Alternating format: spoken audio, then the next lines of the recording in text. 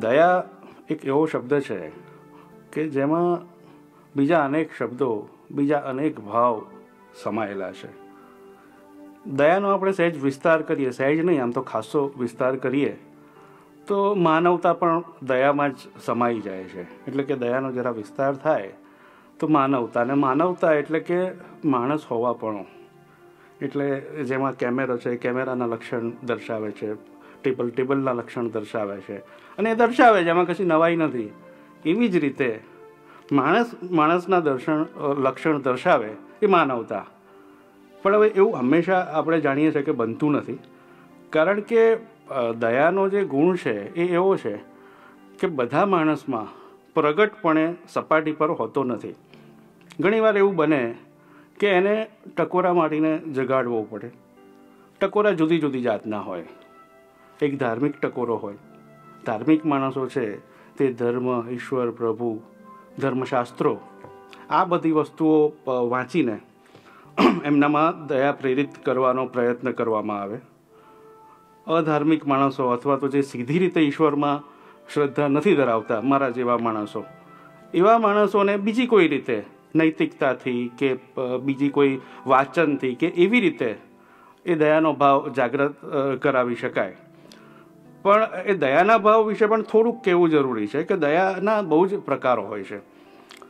એક પ્રકાર એવો છે કે એક માણસ પોતાની જાતને ઉપર જુએ, બીજાને નીચે જુએ અને એની દયા ખાય.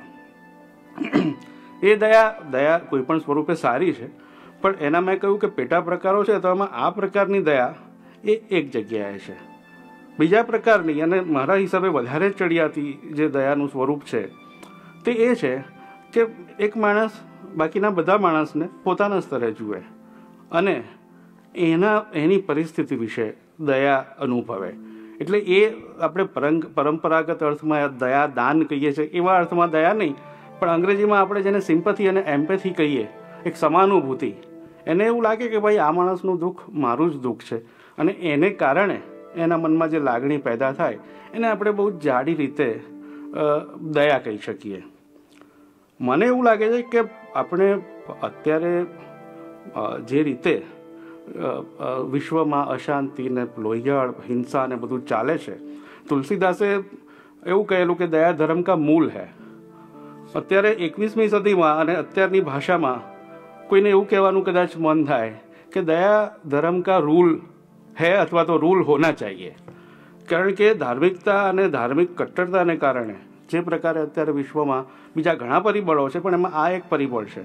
એને કારણે જે જાતની આખી એક હિંસકતાનો માહોલ ઊભો થયો છે, એમાં મૂળભૂત દયા, મૂળભૂત માનવતાની વૃત્તિઓ જે દરેક માણસમાં હોય જ, અને એવું શ્રદ્ધા બી કહી શકાય કે ભયંકરમાં ભયંકર પ્રકારનો અપરાધ કરનાર માણસ છે, એના મનમાં પણ એ માણસ હોવાના નાતે, એ માણસ હોવાની રૂએ અને માણસ હોવાના નાતે એનામાં આ તત્વ તો હોવાનું. પણ એ તત્વની ઉપર એને ઢાંકનારા, એને કેટલાક સંજોગોમાં નાબૂદ કરી નાખનારા બીજા પરિબળો હોઈ શકે. પણ મુખ્ય વાત એ છે કે દયા એ દયાની લાગણી માણસ બનવાની, માનવતા હાંસલ કરવાની દિશામાં એક પ્રવાસ છે. દયા એક સંપૂર્ણ બાબત નથી કે ભાઈ માણસ દયાળુ હોય એટલું પૂરતું નથી. માણસ દયા અનુભવે, એમાંથી સમાનુભૂતિ અનુભવે અને એમાંથી પછી અધિકારની વાત આવે. એટલે દયા ખાઈને અટકી જવું, એ પૂરતું નથી. પણ આપણી દયા છેવટે એવી બને કે જેને કારણે આપણે બીજા બધાને પોતાની રીતે પોતાના જેવા જોતા થઈએ તેમના સુખ દુઃખ આપણે ભલે કાલ્પનિક રીતે, પણ આપણે સમજી શકીએ. અને આપણે વિચારી શકીએ કે ભાઈ, આ માત્ર આપણી એમની દયા ખાવાથી આ વસ્તુ સિદ્ધ થવાની નથી. દયા જરૂરી છે. દયા અનિવાર્ય છે. પણ દયા પૂરતી નથી, એટલે કે આપણે સફર દયાથી શરૂ કરવાની છે.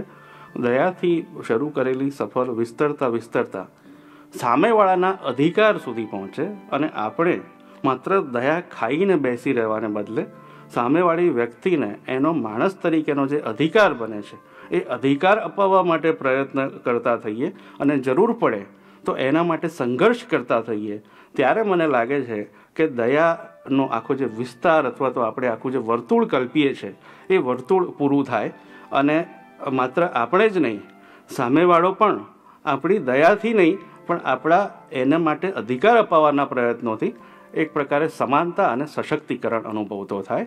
તો દયા, સમાનતા અને સશક્તિકરણ આ ત્રણને આપણે એક લાઇનમાં મૂકીને જોઈએ તો કદાચ દયાના અર્થો વધારે સ્પષ્ટતાથી સમજી અને વિચારી શકાય.